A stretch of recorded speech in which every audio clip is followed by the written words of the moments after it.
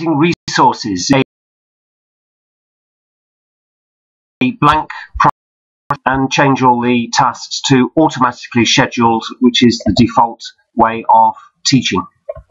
I'm going to change the view to the resource sheets and this short video is going to look at how we can populate the resource sheet and one or two of the options that are on there. You type your resource name into the resource name column and um, as well as having two workers, Joe and Sam, I'm actually going to show the options you get if you actually put in uh, a generic resource like electricians. We're also going to be looking at material resources. I'm going to have gravel and cost resources. I'm going to have airline tickets. So let's have a look at some of the options I can do with these. Joe is a work resource. He gets paid by the hour. I have one of him and he's going to get paid £50 an hour. He could get paid £55 overtime and he works the standard calendar. Sam is also a work resource. Uh, I can shorten these initials to whatever I like. Sam gets paid £40 an hour. Uh, he doesn't get paid any overtime. He works to the standard calendar.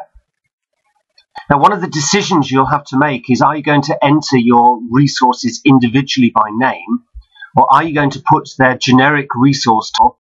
And so for electricians, I'm going to have 10 of them in my department. They can get paid £30 an hour. Now, the, the plus for putting in electricians 10 is that it doesn't matter who is working on the tasks, as long as they've all got the same skills.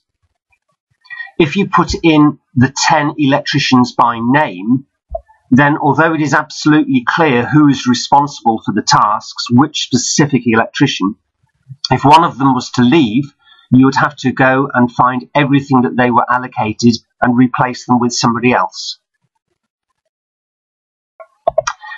Gravel is a material resource.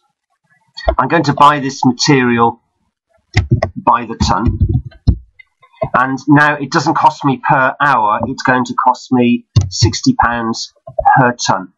Because it's material, it doesn't have a calendar.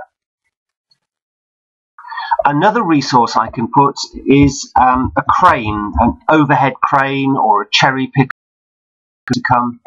It's a work resource. It's going to cost me £50 for every hour I use it.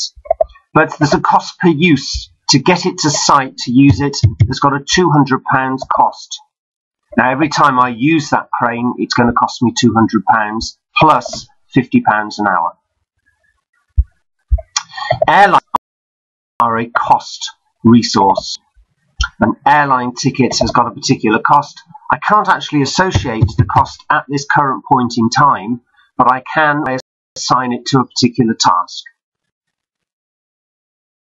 The final things to look at in the resource sheet. Uh, sometimes students will say to me, um, why does this say 100% or 1000%? And this is controlled file options and the schedule tab uh, show assignment units as decimal or percentage. I prefer to see decimal. There's the percentage. You know, thousand percent means 10 people. So I prefer file, options, schedule, decimal. And another common question is, I want to work in euros or dollars. How can I change this away from pounds? And that is in file, options is file options display. We can change the to something else. Final thing to say on this is that Microsoft Project will model your uh, for every hour that Joe works.